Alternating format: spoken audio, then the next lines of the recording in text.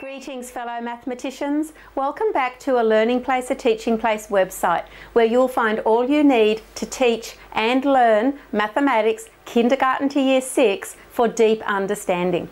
This is one of a series of how-to videos. In this video you will learn how to use the tracking sheets to track student achievement and understanding. Under the assessment and tracking drop down menu we're going to select tracking.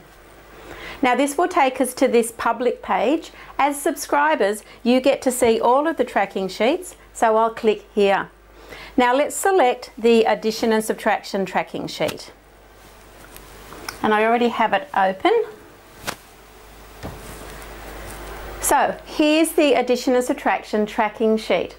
Now, everything that I'm telling you now is explained in the explanatory notes page. So if you forget it, you can either re-watch the video or you can look at the second page of the tracking sheet. So the idea is that we put the children's grade and their names on the sheet.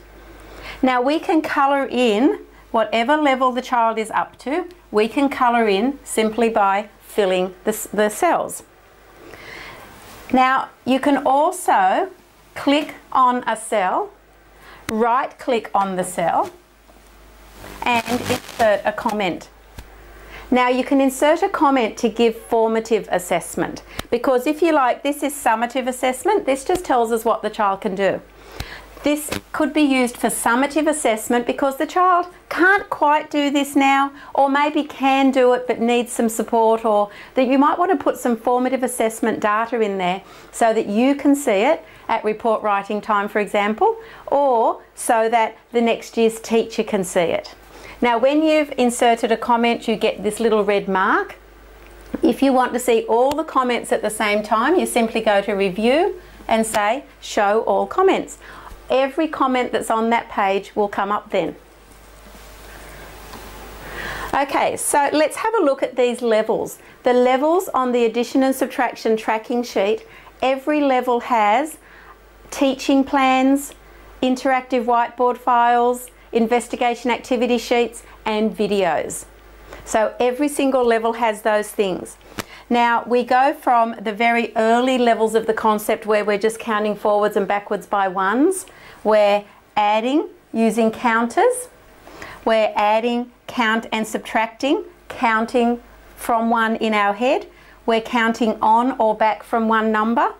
And now we're using non-count by one strategies. All right. Now, a lot of the state departments require you to complete this kind of information for your children. That's as high as they go. As soon as they're not counting by ones anymore, they're considered to be at the top of the level that you're required to report on. So how is this different? This tracking sheet continues through year one, year two, year three, year four, year five, year six, all the way up to adding and subtracting decimals, adding and subtracting three, four, five digit numbers, adding and subtracting fractions. It brings in patterns in algebra so that we're talking about commutativity and associativity. We're talking about how number patterns increase and decrease. We're looking at the money side of things, looking at GST, all of that kind of thing.